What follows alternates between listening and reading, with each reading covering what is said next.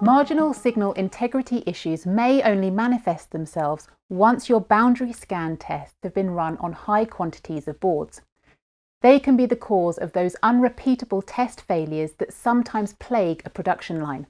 So in this short video, I'm going to show you a soak test that can give you confidence that those problems aren't going to happen. I'll also show you a way to fine tune your system settings to achieve best possible high-speed performance. Both the JTAG chain debugger and the XJDeveloper software have a test called signal integrity, which uses a pseudo-random sequence specially designed to trigger any signal integrity issues. If it runs error-free for 10 to 20 minutes, you can be confident you have a robust system. Let me show you how to use it. It's launched from Check Chain's drop-down menu at the bottom of the window, and you're then offered four options. Run each mode for around 10 to 20 minutes. By the way, it'll use the default frequency from the bottom of the screen, so you'll need to set it to whatever speed you'll be using in production. Just type that required frequency into the box. Once it's been running for 10 to 20 minutes, you can stop it with the button at the bottom and then run it again in its next mode. If you have no errors by the end of testing in all four modes, your test system is good to go.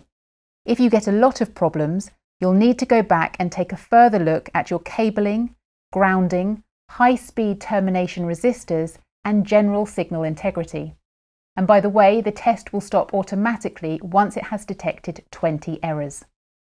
If you get something like two or three errors per 10 minutes, there's a bit of further optimization you can do, and I'll show you that now.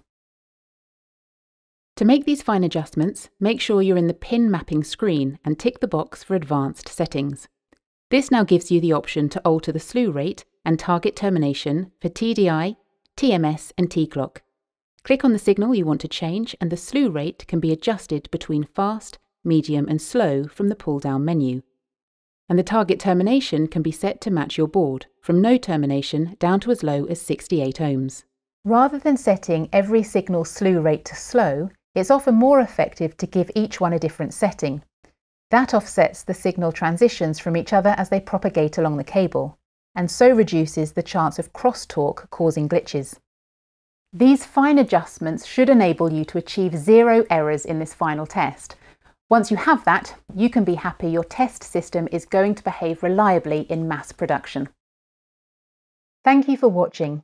If you found this video helpful, please subscribe for more and leave a like or comment below.